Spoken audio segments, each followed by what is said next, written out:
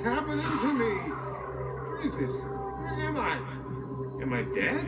Am I, am I still alive? Those aren't the questions you should be asking. Huh? Uh, uh, uh.